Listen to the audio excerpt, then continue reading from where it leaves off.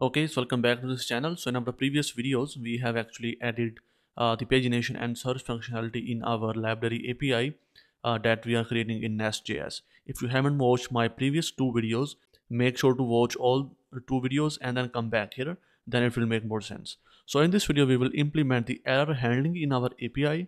So if I go back to my Chrome here, you can see that I am on the documentation of Nest.js. So in this video, we will use something called pipes. So pipe is basically a class that is annotated with injectable decorator, okay, that implements the uh, pipe transform interface. Now in simple words, pipe is a class that runs before processing the request of the user. You can see, see here in the diagram that from the client side, if we send the request to this get uh, route, okay, you can see that before that these pipes will run and make sure that our input is correct, okay. So basically we use pipes for two things. One is for the validation and one is if we want to transform our input into a specific form like we want to convert our integer to string or string to integer and we can do more with that. Okay so this is called a pipe.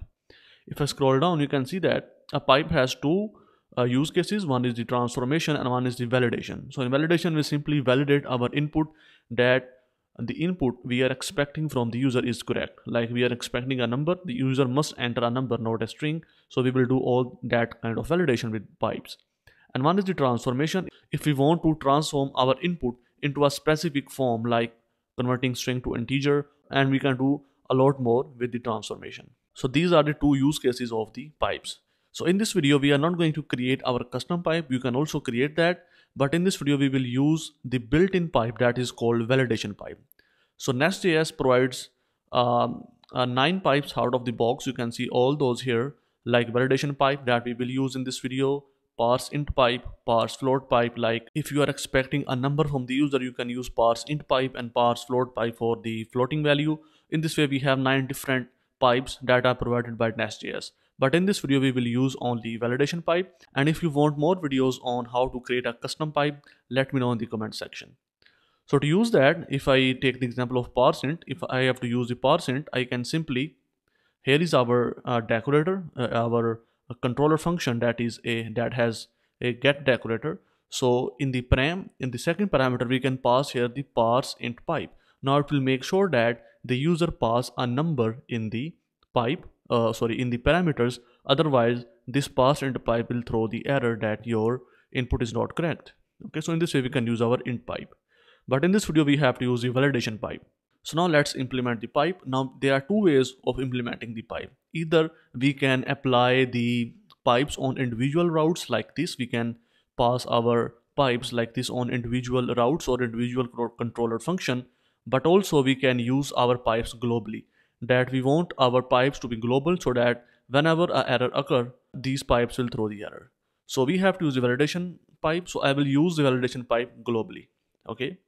So let me show you how it will work. If I go back and here in the source, I go to the main.ts file. Now here I can use my pipes globally. Okay. So I simply type here app dot use global pipes. Okay. So in the global pipes, you have to pass the pipes that we want to use. Now you can pass multiple pipes here. Uh, I will only use validation pipe here. So I type here new validation pipe and I have to import the validation pipe from nest.js slash common. So I will import that and use that. Now we can use this validation pipe globally on all routes. Simply save this one and that is it. Now we have to validate our inputs. And now let me run my project first. I type here npm run start dev. It will start the project. And you can see that we get here an error that class validator package is missing. Make sure to install uh, this library. So we have to install the class validator package in order to make our pipes work. Okay. And also we have to install one more, I think so, package. So here you can see that we have to install the class validator and also we have to use the class transformer that we will use in a minute. Okay. So we have to install both of these packages uh, for the validation. So I simply copy it from here and install all two packages. I go back and just type here this install both packages okay so packages are installed successfully i restart my server and now let's use that Now to use that, I simply go back. Now I go to my book and the DTO, we have two DTOs, create book DTO and update book DTO. Now we have to apply the validation to all these fields. Okay. So how we can do that? Here we have to use the class validator. Now, for example, for this uh, field, I want that this string must be a string and user must pass it. Okay, so this is a required field. So I will simply type here at is not empty and we have to import this is not empty from the class validator that we have just installed. Okay, so it will make sure that the user must pass the title uh, here in the uh, body. Okay, and also we have to use a second decorator that is is string that this input must be a string okay? So let me show you how it will work if I simply save it. And if I go back to my postman and here in the body we have uh, this book. Now if I remove this book from here and click on send you will see that we get here a error message that title must be a string and title should not be empty.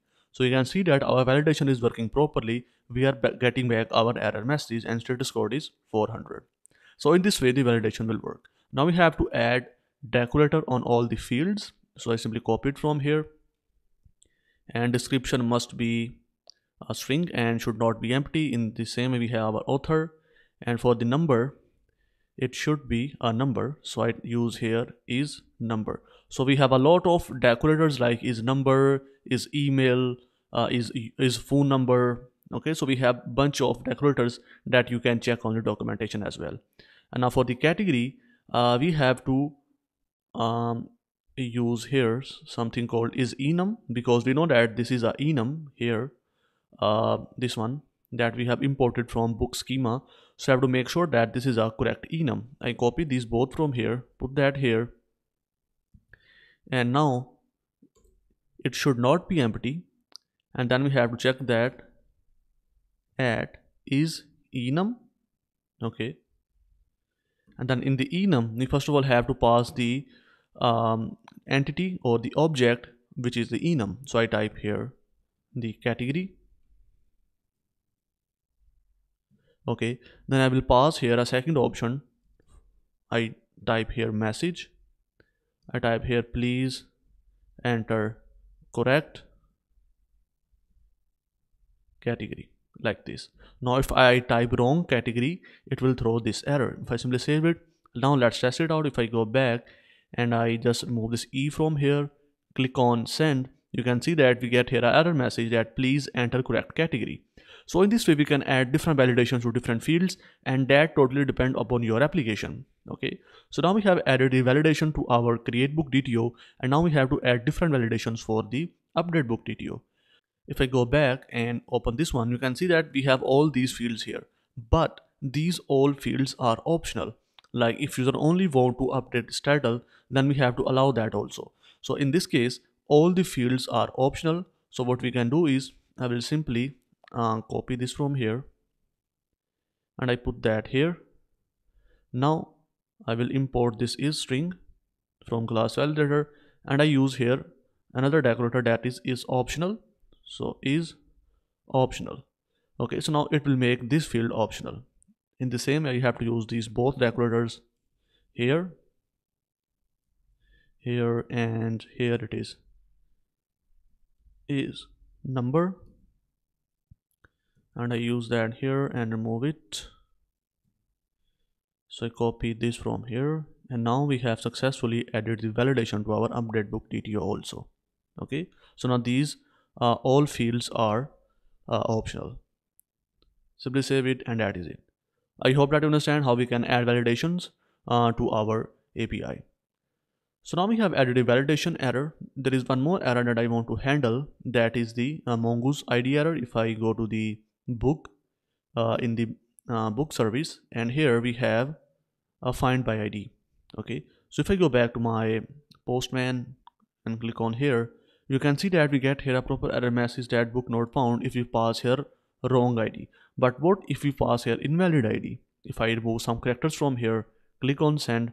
You can see that we get here internal server error which is a default error by nest.js but this is not actually our internal server error. This is a wrong mongoose id error or invalid mongoose id error.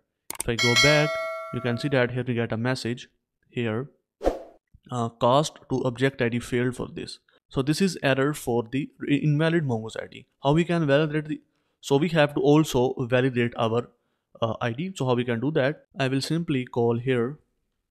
First of all const is valid id i use here mongoose dot is valid object id and pass in here the id now this function will throw true or false. If it is a correct id it will throw true. And if it is an invalid id then it will return uh, false. So you have to check that if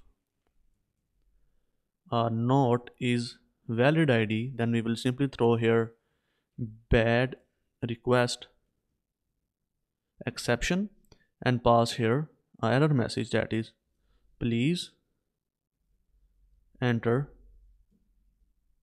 correct id and now if I go back and click on send you will see that we get here a proper error message that please enter correct uh, correct ID and the status code is 400 so in this way we can also handle these type of errors. I hope that you understand. And one more thing that Nest.js made our work a lot easier. If you haven't handled any error by default Nest.js will throw a proper error message. If I go back to my Chrome and if I go to here in the uh, exception filters you can see that here a nest comes with the uh, built-in exception layer which is responsible for processing all unhandled exceptions. So if there are any unhandled exceptions in your application, Nest.js will throw a default error message uh, to the user. It will not uh, basically crash your application. You can see that it will throw this uh, type of message that internal server error with 500 status code. Okay. So if you have any unhandled exception, Nest.js will take care of that as well okay so in this way we can handle our different type of errors in our nest.js i hope that you understand. If you have any question post your question in the comment section. I will definitely reply there. And if you want to check out my udemy course on nest.js which is an in-depth course you can also check that. I will add the link of that course in the description of this video. And now in my next video um, i will add the authentication to our api okay so make sure to subscribe to this channel because a lot of content is coming. So i will see you in the next video